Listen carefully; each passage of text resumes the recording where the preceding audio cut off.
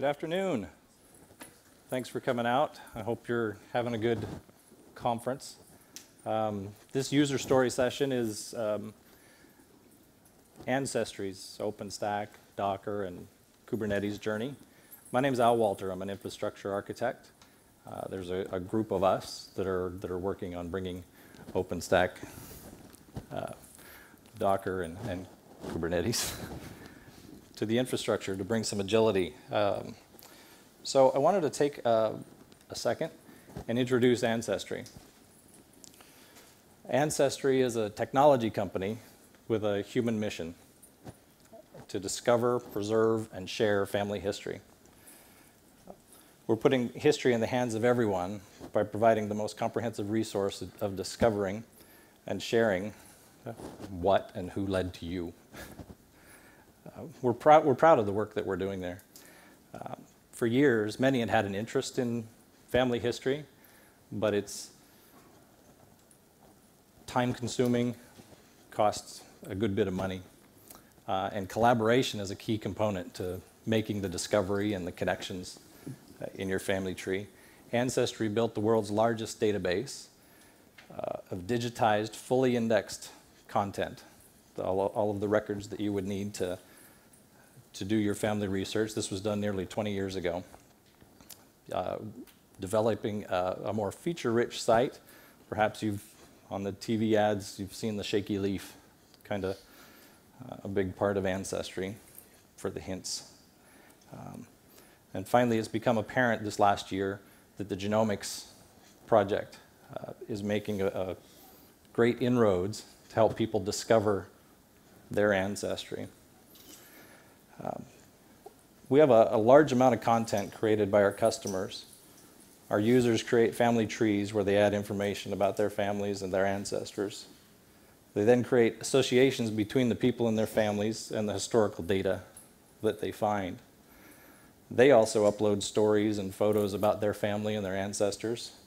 We have over 70 million family trees containing 6 billion people with records, stories, photographs. Um, associated with those records.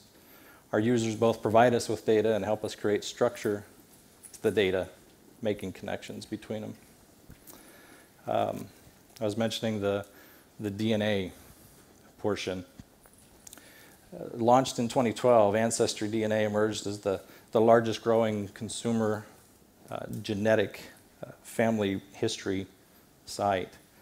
Uh, using Ancestry DNA, customers uncover uh, ethnic backgrounds. They can find distant cousins um, and make, make more connections in their family history. It's pretty simple. You, you get a DNA kit, it's a simple saliva swab, and the data scientists at Ancestry process that on a, a, a big Hadoop cluster and um, give you back the data. It's pretty simple. What they do is find the, the the genetic markers to find your distant co cousins. Um, and they create what they call DNA circles. And whenever you submit your DNA to be processed, then we find the DNA circles that perhaps you should be included with. Um, it doesn't really matter if you have gone back far in your family history or have a family tree created, there's still connections being made with the size of the database the way it is. Um, I guess that, I guess I skipped ahead on that one. All right, so the ancestry introduction out of the way. Let's talk a little bit about the technology. Uh, being around for 20 years, we have a history of um, some products, uh, legacy infrastructure, um, trying to figure out the best way to say it, but, but they cost quite a bit. Um, and it's not very flexible, bringing new features and functions to market. So earlier this year, our CTO announced a strategy at Ancestry um, to change that.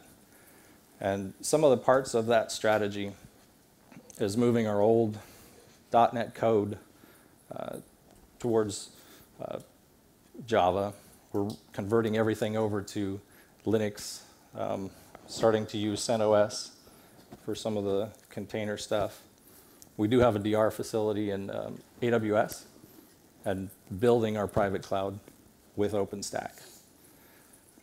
Developers are very excited about containers with Docker and the orchestration uh, with Kubernetes.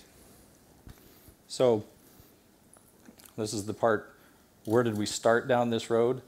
I think one of the things that's, that's interesting about this user story session is we're still pretty early on. Some of them that I've gone to see have years of the trial and error and, and can, can talk about those experiences. This is pretty early on for us. So I'm going to introduce Jordan Nielsen. He's also on the architect team, and he's going to talk a little bit more about how we got started. All right, thank you, guys. Thanks, Al. So uh, you can imagine the surprise of, of uh, developers that are coding in C Sharp when our CEO got up and said we're, we're transitioning to Java and Go. They were just like, what? You know? Uh, so it was a huge, a huge transition. It's, it, but it's been awesome because it started from the top down, right? Your CTO comes out and says, this is the way we're going. Well, that's the way you're going, right? And so that's been very, very good. So where did we start? So give me five minutes. Uh, I want to start because really we wouldn't be into OpenStack if it wasn't for where we started with um, storage. This is really what kicked it off. And this is really where we saved a lot of money and where things became very, actually really, uh, really cool, I think. So a few years ago, we started looking at our storage platform, and we, and we said, man, it is expensive. So basically, our, we store our images or our digitized content on NAS platforms, or have been, right? And so what, what's happened was we realized it's expensive. There's these like there's these licenses that we license a feature per terabyte. So by the time you look at it, you're paying as much um, in terabyte costs as you paid for the hardware, right? And it's just we didn't like that. We didn't like that at all. And there were some other ones, like we had some NAS platforms that didn't have any APIs. We had some that had APIs. And it's like, how do you work with that, right? So I'm not going to go through all these, but you, you, get the you get the point. Um, so we came up with a, a, list of requirements. I'm not going to go again through all these because we're kind of limited on time, and we're, we are really going to kill you by PowerPoint. We've got lots of slides, but I think it's really actually pretty good. So uh, open source, RESTful API, commodity-based hardware. This is where we wanted to go, right? So what did we choose? Um, uh, we chose Swift. So that's where, and this really ties into Docker and stuff when you talk about storing images, Docker images somewhere. Where does it, where do they land, right? And I'll talk about that in a minute. But we chose Swift, and how did we implement Swift? So the digitized content that I mentioned, um, we uh, partnered with a company called SwiftStack. And what SwiftStack does is they let you run commodity-based hardware, they let you deploy your own Linux, but then they offer support and a controller-based system for managing Swift, right? And it's been it's been very good. Actually, I have the CEO of, uh, of Swift here. Hi, Joe. So sorry I had to call call you out. Uh, they've been very great to work with, and we've actually moved all of well, sorry, it's about 90% of our data, image data, image content to from, I'm not going to say the vendor because I don't think that's really fair, from that to Swift.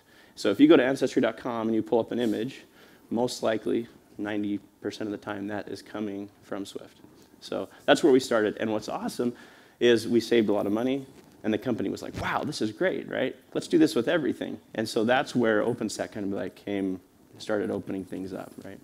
And honestly, I, I think uh, this was part of the a piece of the part of the strategy where our CEO says, "Hey, let's go to Linux because we saw such a big, you know, win here." Um, so I'm going to skip a couple slides here. I, I, wanted to actually just show you the hardware that we're using. So we, we're not we're a genealogy company, right? We don't we're not getting billions of transactions a second. We're not. It's genealogy, okay? Uh, but so we were able to go very dense. And what we do is we have per rack. I'll show you the rack design here in just a minute per rack, we have a Dell, we use Dell, we have a Dell R620 uh, SAS attached to a JBOD that has 84 drives in it. We got four of those in a rack. Raw, that raw with six terabyte drives in these guys down here, that's about two petabytes in a single rack. So that's great density. If you're looking for density and you don't need enormous performance, this is a great solution. And we worked with the SwiftStack guys. We worked with Redapt, who is our integrator. Um, we just kind of, they wheel in the rack and we just, you know, provision it and go for it, so. Um, Account and container, um, we did uh, 100 gig SSD drives. So this was the one that cost a little bit more because you have to have low performance on the SQLite databases with Swift. And then the proxy nodes, similar, except only two OS drives, and that's your entry point into Swift. That's your API, right? So, so initial, the first few racks we got in, this is a picture of that. And uh, as we were kind of started migrating, and that's kind of what they look like. So here's your four enclosures, the drives that are attached to account container to proxy, right? And we do that, or we just cookie cutter them and shove them in, and that's when you get an image from Ancestry, that's where it's coming from. So, okay, so that, sorry, that, that is really where things started. Now, what's next, right? And that comes back to the strategy that Al uh, talked about, that our CTO came down. And so, what is the first part of that strategy? Well, the first part is CoreOS. We've decided to standardize on the operating system CoreOS. Who's used CoreOS in here? Anybody? Anybody? A few of you? Okay. Can be a little crazy at first because there's no package management. Uh, a lot of the commands aren't there. It's a very, very stripped down um, version, lightweight Linux version. And it's really designed to run containers. That's what it is. One of the interesting things is when we brought, we, we installed CoreOS on a box, we had our security team run a scan against it. And I think about every OS installed by default has vulnerabilities, right? Well, they ran a, a scan against this, installed straight from default, no vulnerabilities whatsoever. So security guys were just jumping up and down. They're like, this is awesome, right? So and it's designed to run Docker, but can also run Rocket if you choose to run Rocket containers. Or, and, sorry, not or, and Kubernetes. Um, so CoreOS actually deploys Kubernetes within a Docker container. So it's deployed in Docker containers, which is, I'll talk about that more in a minute. Um, and they're always, the great thing about it is they're always uh, at the latest kernel, and they're always updating. So you've got to, if you run CoreOS, you don't have to do this, but the, the idea is to, your OS is going to update and it's going to reboot. And if you're running Kubernetes, which we'll talk about in a minute as well, things will move around, but everything will still be fine? And then they also provide OpenStack images, some QCOW2 images that you can load straight into OpenStack, and that's uh, very nice of the, the CoreOS guys.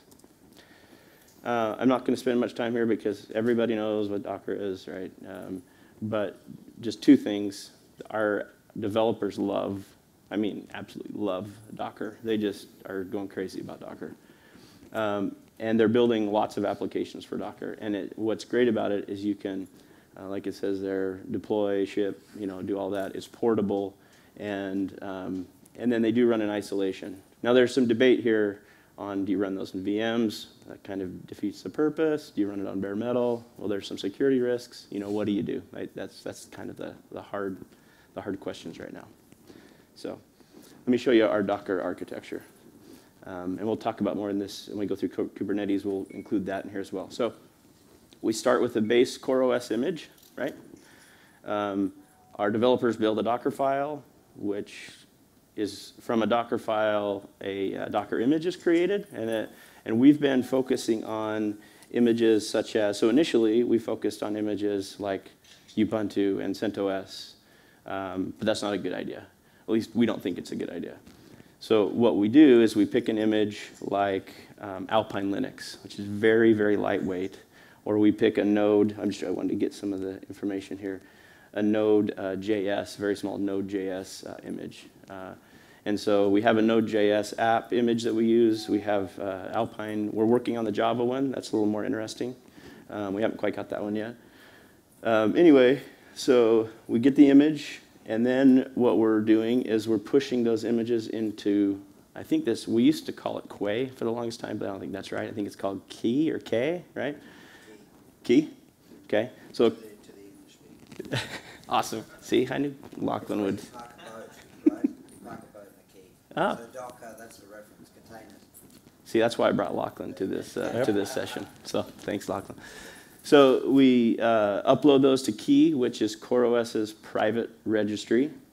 Uh, and you can use a Docker private registry. There's no, there's no problem with doing that. Uh, the great thing about Quay is it integrates with OpenStack Swift. So within Quay, we provide a, an account and a container and the images get, when they do a Docker uh, push, get pushed into Swift.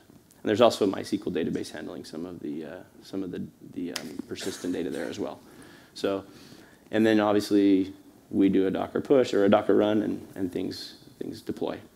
Now this is all fine and great, right? But it's really hard to manage something still like this. So even though we can, we can uh, ship and port all of this, there's really no orchestration around any of it, right? Or if there is, it becomes very hard to manage, especially as you, as you scale. And so uh, these were some of the questions uh, that we started asking ourselves. How do we schedule it? How do we, how, you know, how do, what's the health of it? What's, um, what's happening to my containers? Where are they? That kind of thing, right?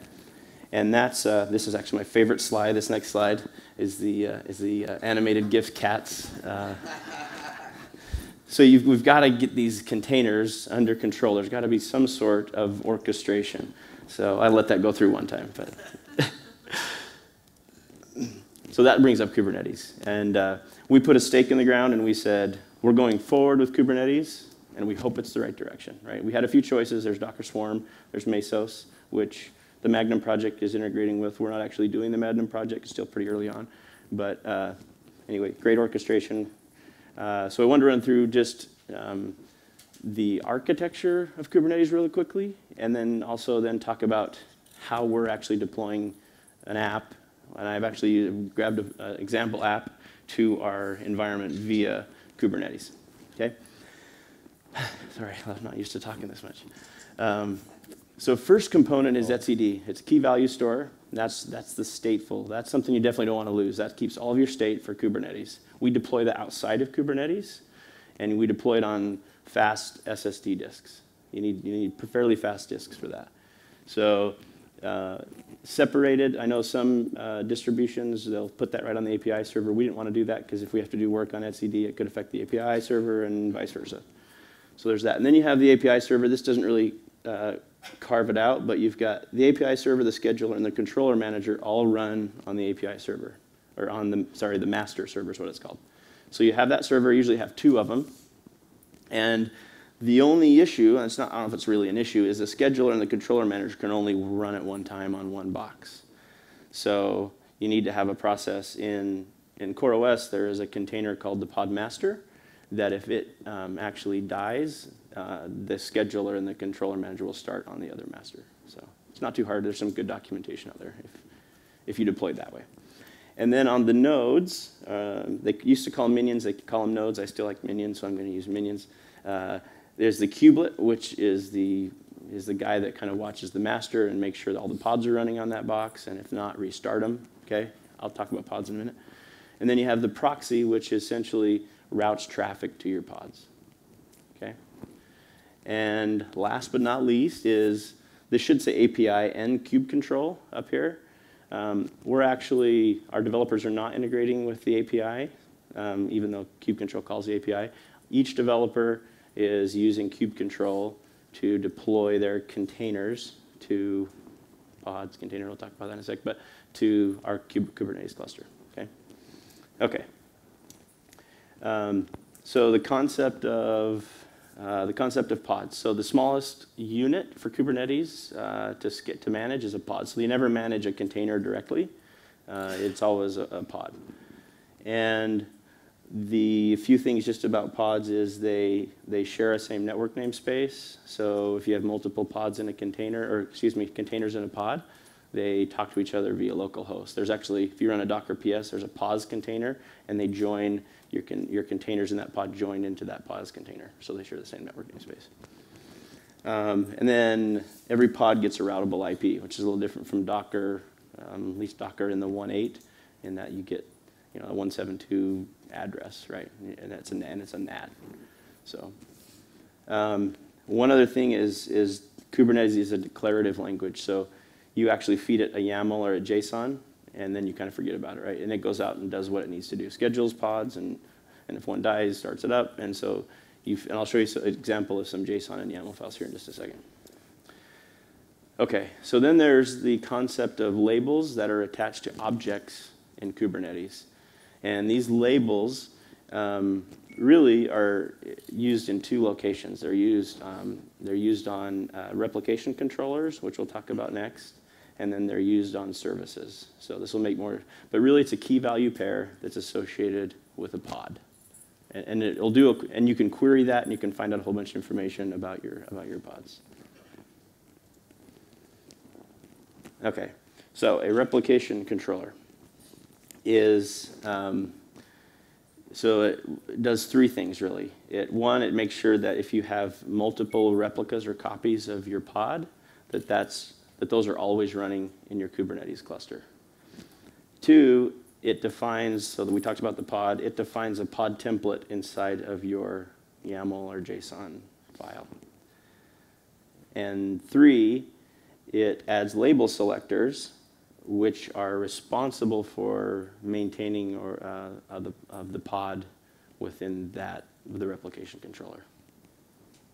Okay, I know. Sorry, this is a whole bunch of information all at once, and I've heard you probably some of you have seen this before uh, during the conference, but so here's an example of an actual, excuse me, of an actual uh, ancestry deployment uh, config uh, that we did just um, I don't know a few I don't know three or four weeks ago. So let me just run through real quick. So define a replication controller. You give it a name, obviously. You define the number of replicas that you want. Uh, you can adjust that to however many you want, right? Um, and then I'll come back to the selector in just a second. Then here is your entire pod template. So what this is going to do is here's your labels that it defines right here. Um, and then it defines the name of your container and then the, this is, in this case, this is the key uh, registry to pull it from, which is an internal private uh, Docker, or uh, uh, not Docker registry. It is a Docker registry, but it's uh, from CoreOS. So, so it goes and grabs the image, pulls it down, and there you go. And that starts your pod uh, in your Kubernetes cluster. Okay, and then it listens on port 80. Now, you'll notice uh, that the selector, the name and the pod, and the deployment and the initial need to match. Actually, they have to match or you can't create those because that's how it knows to manage. That's how it knows to manage those pods. Okay? So you deploy your pod, everything's good, but now you got to get traffic to that pod somehow. So then there's the concept of a service, which is basically a generic load balancer within Kubernetes. And what it does is it uses the selectors, and there's a different selector within the service that tells that basically says if these selectors match the label in the pod definition, route traffic to that pod. I hope that makes sense if it doesn't come up after. Um, so one thing we ran into, this is kind of interesting, is these, uh, the service also gets a routable IP and a port. But the problem with that is it's usually not a routable IP. And so you're like, well, if you're in the cluster, you're fine.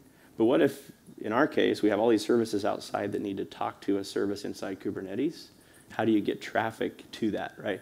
And that was our, for the longest time, we kind of beat our heads like, how do you do this, right?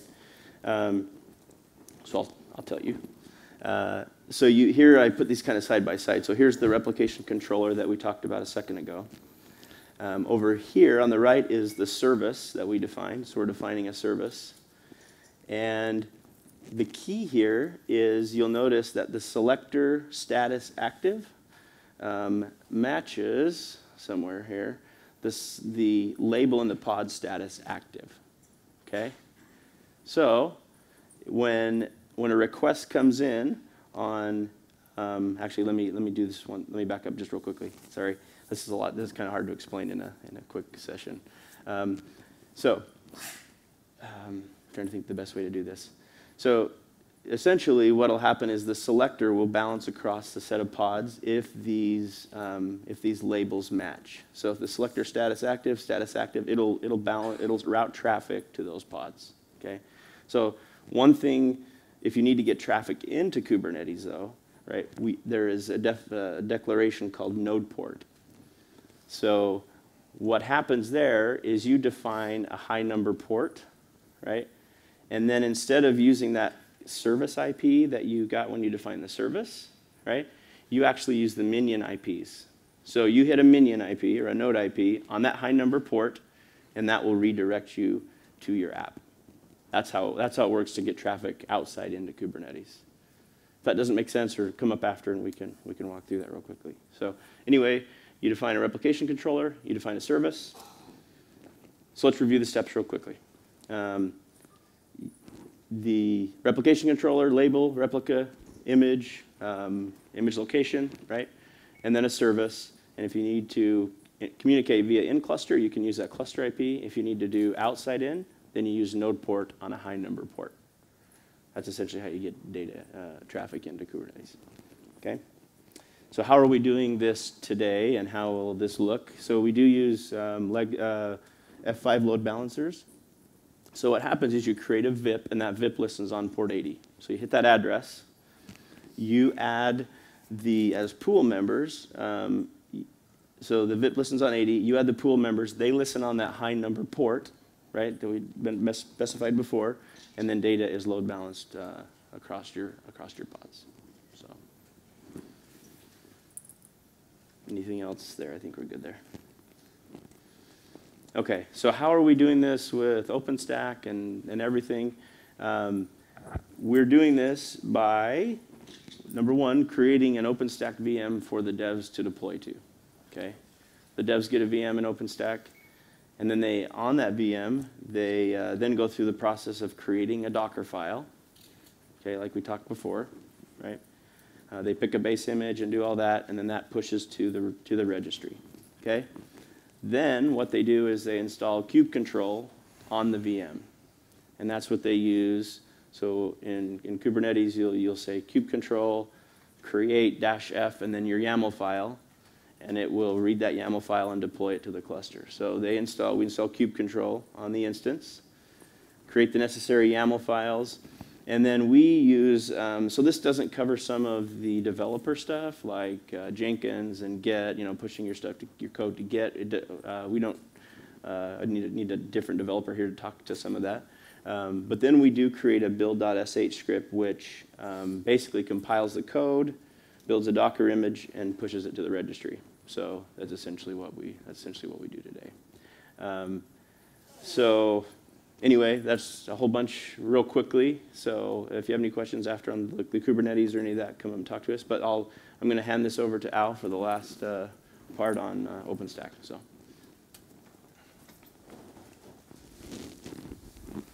So just real quickly to finish up, um, OpenStack is helping us a lot with the, these processes.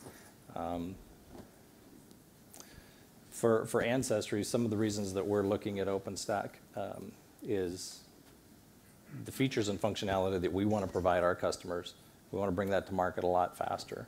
Uh, another reason is to give the development teams the self-service portal to spin up those resources that they need um, instead of waiting in the ticketing system and six weeks to get hardware and the traditional stuff. Um, again, it, it reduces the provisioning time from months and weeks down to minutes, really. We had a, right before we uh, flew out, we had a developer that was, uh, sent an email and he was very timid, kinda. He says, is there something I want to test? Is there any way I can get 20 boxes? And I don't know how long it took you, 10 minutes. minutes, yeah. And, and he, he had everything he needed. He had his scripts to go ahead and deploy it, and he had his full working cluster in no time. And, and he's singing praises um, to our boss. yeah, So that was great. So um, again, we're, we're early on in the OpenStack journey. I was talking about some of the things that, that we use it for. We're running it um, on CentOS. Using the, most of the core components of OpenStack, we do for networking. Um, as I've talked to people um, nine, 12 months ago when we got started, or when I got started in OpenStack and coming from a network background, I had major concerns about the, the network node uh, for Neutron. So one of the things we did is partner with Midokura um, for this SDN, the, the overlay to help with that. And that's been a critical part of us getting to where we are today. Um, thanks, Cynthia. Um, it's been really good. Right now, we're not using the Cinder.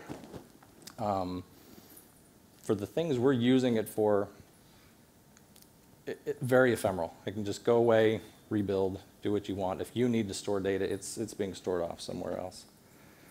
Uh, Similarly to the, the Swift Stack, it's, it's very similar hardware except for the, the big deep storage. Um, Did want to talk a little bit more about Midokura, MidoNet. Um, This illustrates, I don't know if any of you had a chance to, to hear Adam just a couple of hours ago. He had, a, he had his MidoNet 101 session. Um, That'd be, if you're interested in this, that'd be something to go look at up on the, the YouTube channel. I'm not going to get much deeper into that here. But the ability to scale that out and distribute my gateways in and out of the OpenStack environment was critical to me, um, and not rely on that, that node port. Node port. I'm Oh, doing yeah, sorry. We, we threw this in here because uh, early on, we, before Kubernetes came along, we looked at Nova Docker uh, within OpenStack. Um, But we've since gone away from this. This is just kind of one of the options that we looked at. uh, And it's still there, you can still do it, and it deploys Docker uh, via Nova commands, uh, and it works, but uh, it doesn't have some of the feature-rich stuff that, that Kubernetes uh, has. So Jordan, on this one too, where, where were we going with this? Just to show the, the ease of, of laying down that Core OS and Kubernetes? Right, so, yeah, so this essentially is, I think, six steps. There's two slides here that we, this is deploying um, a Kubernetes cluster with like six commands in, um, in OpenStack. So we get the image, we deploy the image to Glance, the, the QCOW uh, Core OS image, and then hit that next slide. And then we run three uh, cloud config files. The first one's etcd, the second one's a, uh, a master server, and the third is a, a minion or a node server. So with three commands, we can have a Kubernetes cluster spun up in um, minutes, right? Uh, I don't know how long it takes for sure, but not very long. Uh, and the great part about the Core OS within in, uh, OpenStack is the boot times are like seconds. Like it really takes like a second to like boot the OS. It's it's really great. The one, oh yeah, sorry, go ahead, Al. No, you're fine. Uh, some of these examples were things that, that you had thrown in as you're working with Core OS. And this is just a, a- sample cloud config file to, to spin up Core OS. Now, one of the things with, that OpenStack is helping us with, um, besides the, the, the developer environment for them to work on, is as we're learning Core OS, um, as you're tweaking the cloud, cloud init files and cloud config, um, and waiting for post on bare metal, it can make for a long day as you get that refined. On OpenStack, it, it, it takes a minute or two and you find out if you're right or wrong, change it and, and build it back up again. So I, I think that's awesome. Um, going forward, we're hoping uh, for the maturity of, of both Ironic and, and Magnum, um, given that our development team is very set on containers and moving forward with that. Uh, and they want to get the, they want to do all that on bare metal. Um, that really ends the content that we have for today. Um, if you have any questions, I think we have a few minutes left. Yeah. So is, what you described so far, is this just in dev test or what? So we are just about, when it comes, comes to the, the containers, Kubernetes, um, I think next month, we're looking to take some live traffic in that environment. When it comes to OpenStack, yes, it's, it's more, it's not serving live traffic for the Ancestry site yet. It's, it's more for development to have an environment sandbox to play in. Um, Just for a second, about your strategy of bringing like a service into production? Or is it Yeah, so we actually started um, very similar to the Lithium guys here. Uh, we started with five pilot teams Right. that really wanted to hop on the bandwagon and get their service out there first. So they hopped on, um, took in a service that they knew we needed to deploy, right? Um, and we gave them one of the nice things is we gave them an environment in, uh, within OpenStack, a Kubernetes environment that they could deploy and test. Um, but end goal right now is uh, running Core OS bare metal uh, with Kubernetes laid on top. So the idea, um, anyway, I don't know if that answers your question or not, but yeah, we really started with really some small teams that, and no persistent data, not a lot of complexity, right? Something that could, uh, we're kind of pushing persistent data until that matures a little more down down the road. But yeah, not really vital sections of our, customers experience. Yeah, start small. it is live, Kind of just work our way up. And then the idea is to have these pilot teams turn around and train more teams, and then those teams turn around and just, we hope it turns into this, you know, ripple effect, so. What else? Yeah. Now, going on what you said about the external network access and behind the ports, how do you deal with adding or removing minions or having different Kubernetes clusters? So go ahead, for, for the video though, um, just rephrase the question. Oh, yeah, Get it in. yeah. So I might have to have you repeat that one, one more time. Or do you want to come up to the mic? Yeah, come up to the mic. Then I'll have to repeat it. So for external network access, you said you use a high number port and you Mhm. load balance, but how do you deal with adding or removing uh, minions? And if you have multiple Kubernetes clusters, how do you, do you have a permanent load balancer and then you just publish the port to your F5 or whatever? How does that work? Do you want to talk to that? So we're, we're, right now it's still manual with what we're entering into our F5 load balancers. Um, The Kubernetes is, is going to be one cluster, so we'll let Kubernetes handle uh, the assignment of that high port. Um, But, but yes, right now it's still a manual entry into the F5. And then also, Well- it's a static, um, a static route entry uh, to have traffic routed to that, you know, the slash 24 that it assigns to the minion. He uh, updates the, the static route. So we're still, there's still a little bit of stuff we have to do manually because, um, yeah, because of the way we're doing it, so. So hoping for some dynamic routing out of the, whatever Kubernetes is using. Yeah, the, the interesting thing with Lachlan and these guys is Juniper's kind of have, has come up with a solution where they're doing that for them, I, I believe, right? I don't want to speak for you, but I believe that it's something like that, so that's pretty cool.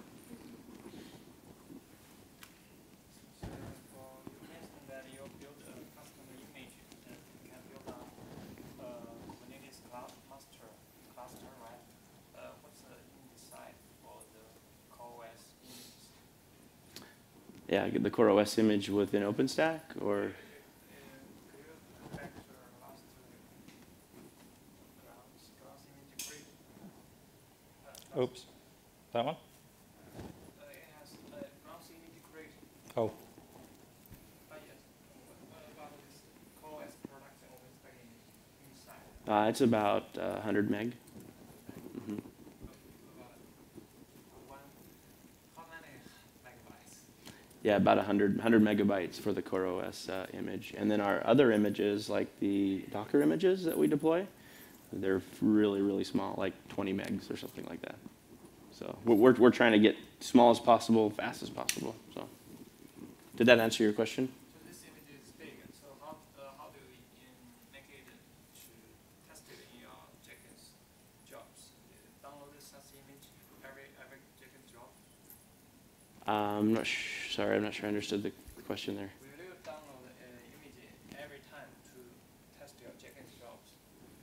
Yeah, no, we just, uh, yeah, we just put the image um, into Glance and then, uh, and then into Glance, and then it just, when we do a Nova create, it just pulls that image and, and launches that image.